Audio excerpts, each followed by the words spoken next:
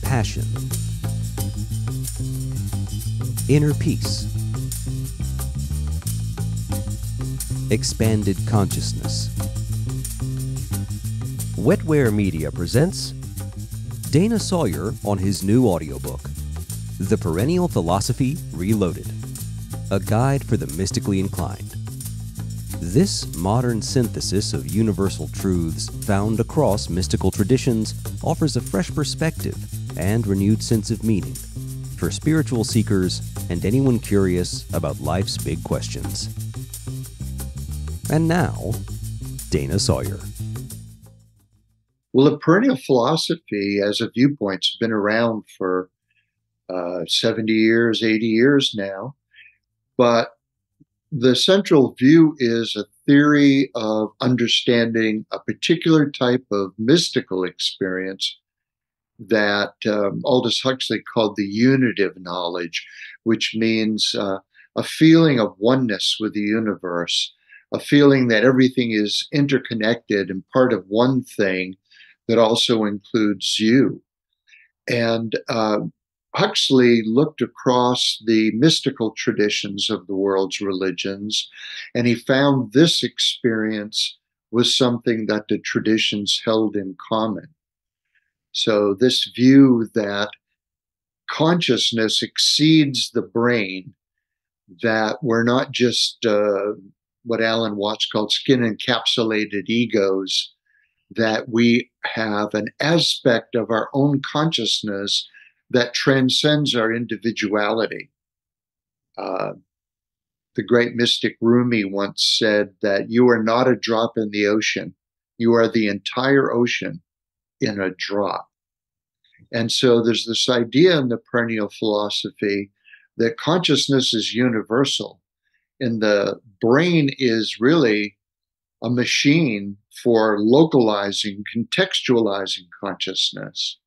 And so the mystic is a person who's experiencing themselves not only as an individual person walking around in the world, but actually tapping into this level of consciousness that's universal. And uh, perennial philosophers believe that the mystics were experiencing life that way, and that we all have the latent capacity to experience life that way. So the perennial philosophy is a family of theories for understanding that experience of oneness with reality. What do you mean by reloaded? Well, uh, like I say, in the 60s and 70s, it was the dominant interpretation. But then in the 80s, postmodernism came along, and postmodernism's viewpoint was that there is uh, no level of parity or agreement between the world's mystical traditions, that they were all siloed positions with no cross cultural significance. And yet, in the last 30, 40 years, lots of different scholars, uh, including me, have been writing about the virtues of the perennial philosophy as an interpretation. And so there have been a lot of updates and a lot of nuance added. For instance, in the disciplines of uh, philosophy and neuroscience, there's strong evidence for the idea that our consciousness transcends the brain. So it's a reload because it's taking that original position and updating it in light of uh, contemporary neuroscience, psychology, philosophy, religious studies, etc. What do you mean by a guide for the mystically inclined? When you say the term mystical experience, people think of it either as woo woo and something to dismiss, or they think of it as something that doesn't happen to them. But what I've found is in reality, people have these unitive experiences all the time. They'll be walking on a beach and they'll feel like, wow, I don't know what happened to me. I there was no future, there was no past. I was just in this timeless moment where everything felt so pregnant with meaning, though I didn't know what it actually meant. Well, from the perspective of the perennial philosophy, they were actually setting, settling into a mind space where they were tapping into that level of their own consciousness that is universal. So that universal aspect of their mind was looming forward into experience. And so many people will say, Oh, that was kind of weird. That was fun. I don't know how to make it happen again and set it over here. But this book is giving them a way not only to understand those experiences, but to reify them and value them. And the more they value those experiences, in my experience, the more often they happen. What techniques or insights do you share in the audiobook? Well, the first thing, as I say, that the book does, and I, I, think this is really a very strong point about the book, is it gives the reader uh, a way of understanding experiences that may very well already be happen- happening to them. What are not only called mystical experiences, but noetic experiences, experiences of uh, inner knowing. And then uh, what the book also does is say, how can we cultivate these experiences? And there's a whole chapter on that. So it's it's validating traditional methods of consciousness expansion like meditation, yoga, uh, contemplation, Sufi dancing, these drumming, shamanic drumming. But at the same time, it also discusses more uh, 21st century techniques like sensory deprivation tanks, uh, biofeedback, uh, brain entrainment devices, psychedelics, these sorts of things. Uh, music.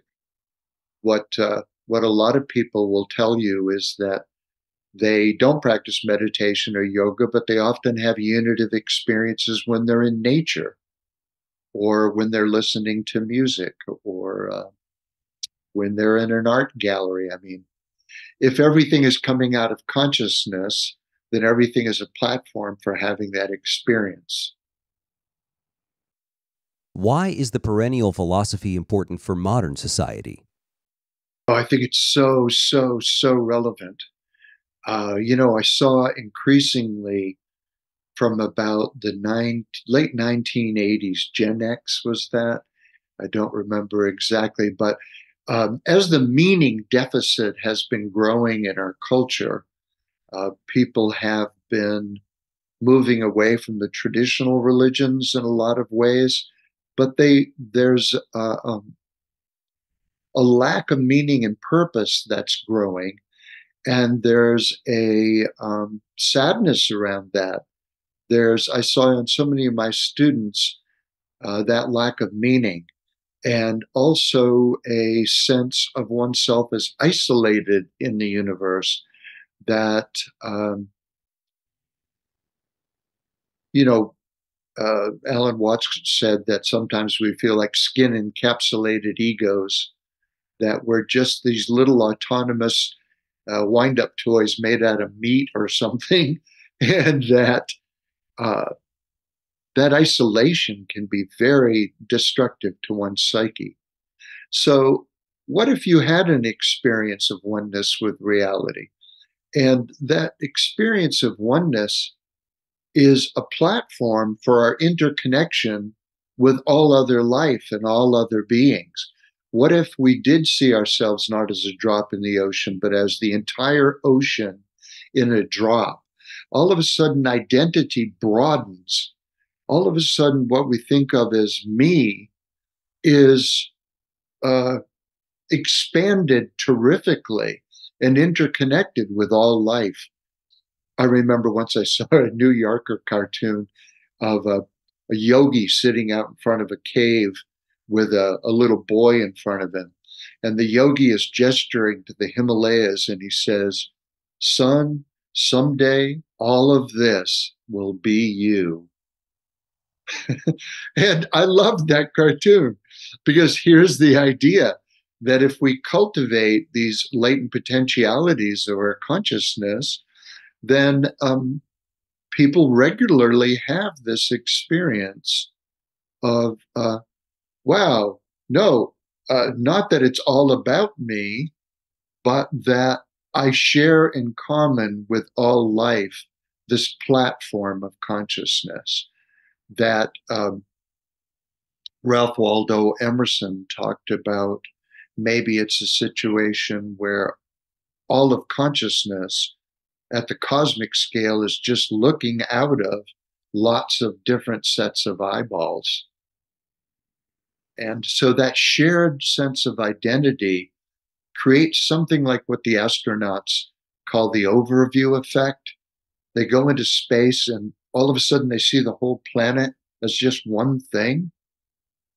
And that overview informs their behavior ever after. While something very similarly happens in inner space as well as outer space, when you go very deep inside, that cognition that everything is part of one thing creates a much more holistic platform for one's daily behavior. So I I think the potentiality of that. I mean, I get excited about it for the same reason that most perennial philosophers do. Who will enjoy this audiobook? I think the target audience for this book is uh, people who are interested in consciousness studies, consciousness expansion, self actualization, uh, altered states of consciousness, people who have uh, the psychology of consciousness, people who are interested in um, understanding their own unitive experiences. What is this that happens to me in nature? Why do I feel such peace and uh, even love when I'm uh, in nature? These kinds of experiences, it gives uh, a way to understand them and appreciate them. And since everybody has these experiences, then the audience is everybody, I suppose. How will this audiobook help listeners? This audiobook will help uh, listeners understand that experience, those experiences of unity, interconnectedness, oneness. Uh, this book will update an understanding of the perennial philosophy for people who may first have read about it 30 or 40 years ago, but now all of a sudden they'll hear fresh information in support of the viewpoint. So those those are the two primary things that I see it doing. It will also give people tips on how to cultivate these unitive experiences. Is there anything else you'd like to share? Yeah, what I what what else would I like to share? I think the most important thing, uh, Aldous Huxley once said that he believed that our latent human potentialities of consciousness are our planet's greatest unused, undeveloped natural resource. Right now, we we're facing all these problems like overpopulation, pollution, too much waste, lack of resources, degradation of habitat, et cetera, et cetera. But Aldous Huxley believed these were really just symptoms of a deeper problem. And the deeper problem was the way that we see our relationship to the world. That we need a different worldview as a platform for new ways of thinking and behaving. So expanding consciousness, you know, most people are, in my opinion, uh, only watching one channel on the human TV set and thinking that's all the possibilities. But there are other states of consciousness, and consciousness can be made more authentic, in my opinion, when we also re- realize and experience these deeper dimensions of what we are.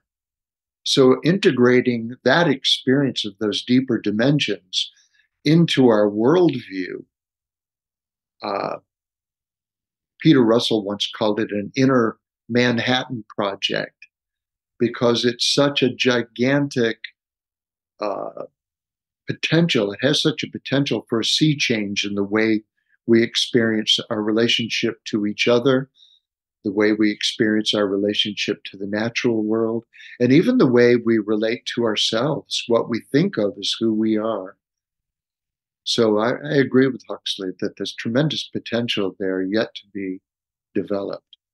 The Perennial Philosophy Reloaded, a guide for the mystically inclined, is available now at all major audiobook retailers.